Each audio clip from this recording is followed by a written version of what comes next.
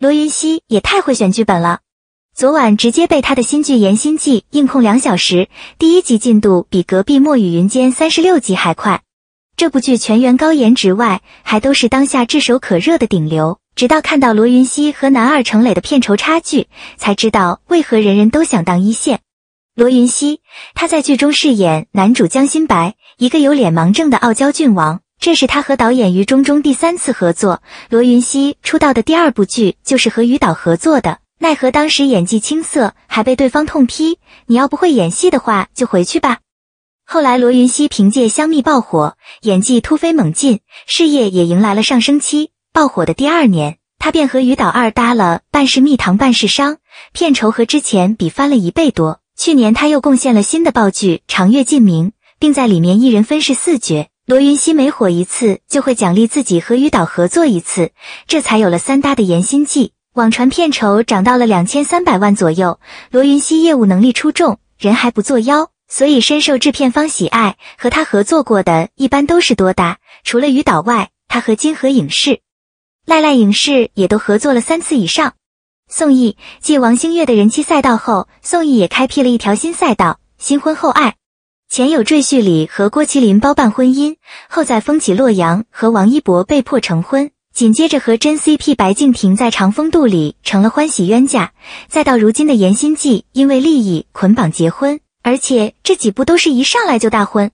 这部剧买了韩国内在美的版权，沿用了角色设定，但剧情是原创的。剧中的宋轶一来癸水就会变身，再配合男主的脸盲人设绝了。不过看两人合作，总有一种澹台烬考公上岸娶了范若若的即视感。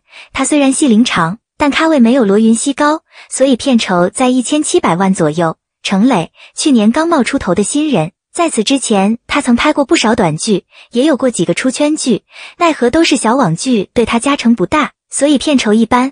凭借《云之羽》中的宫二走红后，才算彻底在娱乐圈立足。如今还和宋轶二搭了《雨尽长安》，身价和之前比翻了不止一倍。不过他在《延心记》里只是男二，片酬自然比不过男女主。网传片酬在七百六十万左右。陈瑶在剧中饰演罗云熙的妹妹江梭罗。她演技好，颜值过关，还有过几个出圈角色。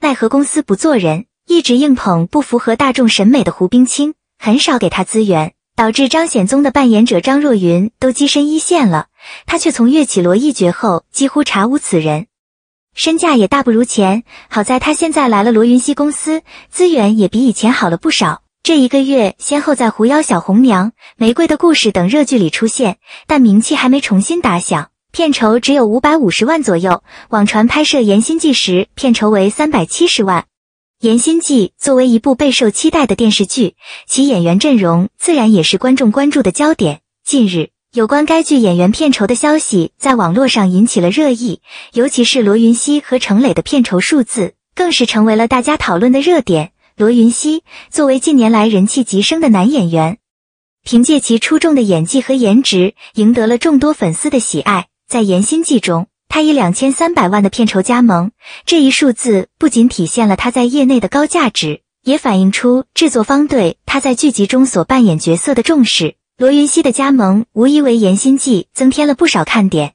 粉丝们也对他在剧中的表现充满期待。而程磊的片酬则让人颇感意外，虽然程磊在业内的知名度和影响力可能不及罗云熙。但他在多部作品中的表现都得到了观众的认可。此次在《延心记》中的片酬，虽然具体数字尚未公开，但可以预见的是，制作方对他的信任和期待同样不低。程磊的加盟也为剧集增添了新的看点，让人期待他在剧中的角色演绎。对于演员的片酬，一直以来都是娱乐圈内外热议的话题。一方面，高片酬往往代表着演员的人气和市场价值，是对他们工作的一种肯定。另一方面，过高的片酬也可能引发关于影视制作成本分配的讨论，甚至影响到剧集的制作质量。然而，我们应该认识到，演员的片酬只是影视制作中的一个环节，真正决定一部剧集成败的还是剧本的质量、导演的把控、演员的演技以及整个制作团队的协作。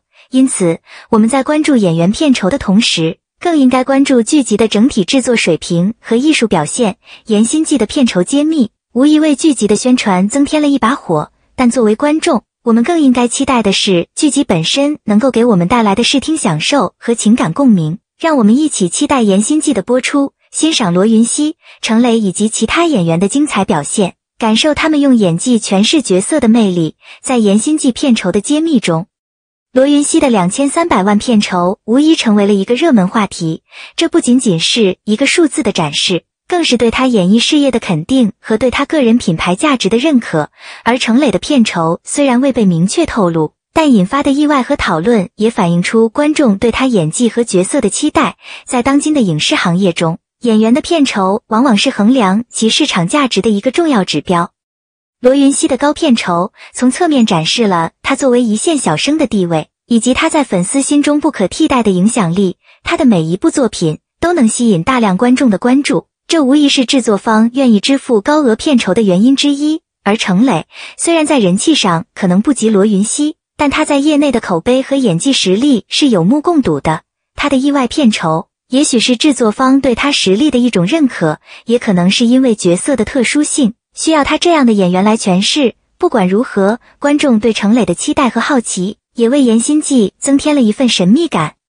在讨论片酬的同时，我们也应该看到，演员的片酬只是影视作品成功因素中的一小部分，更重要的是剧本的质量、导演的把控能力、演员们的演技以及整个制作团队的默契配合。一部好的影视作品需要多方面的共同努力，才能呈现出最佳的效果。此外，观众对于影视作品的评价也不应该仅仅局限于演员的片酬，我们应该更加关注作品本身的艺术价值和社会影响力。以及它能够给我们带来的思考和感悟。《颜心记》作为一部备受期待的作品，我们有理由相信它将会在多方面给观众带来惊喜。总之，《颜心记》的片酬揭秘虽然引发了一系列的讨论和关注，但我们应该更加期待的是剧集本身的质量。让我们一起期待罗云熙、程磊以及其他演员在剧中的精彩表现，期待他们用精湛的演技为我们讲述一个个动人的故事。宋轶继王星越的人气赛道后，宋轶也开辟了一条新赛道——新婚后爱。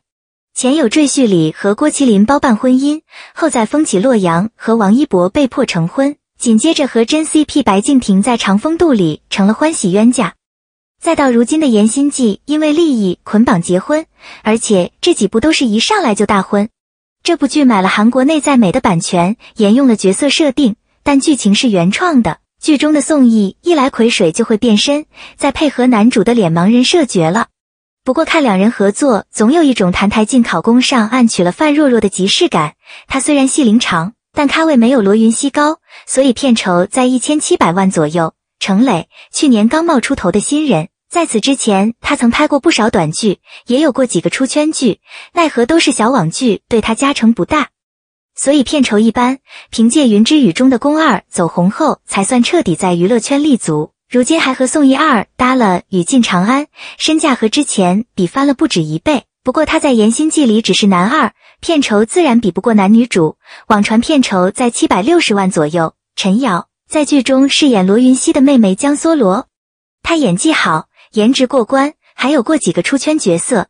奈何公司不做人，一直硬捧不符合大众审美的胡冰卿。很少给他资源，导致张显宗的扮演者张若昀都跻身一线了，他却从岳绮罗一角后几乎查无此人，身价也大不如前。好在他现在来了罗云熙公司，资源也比以前好了不少。这一个月先后在《狐妖小红娘》《玫瑰的故事》等热剧里出现，但名气还没重新打响，片酬只有五百五十万左右。网传拍摄《延心记》时片酬为三百七十万，那么你觉得这这部剧的片酬合理吗？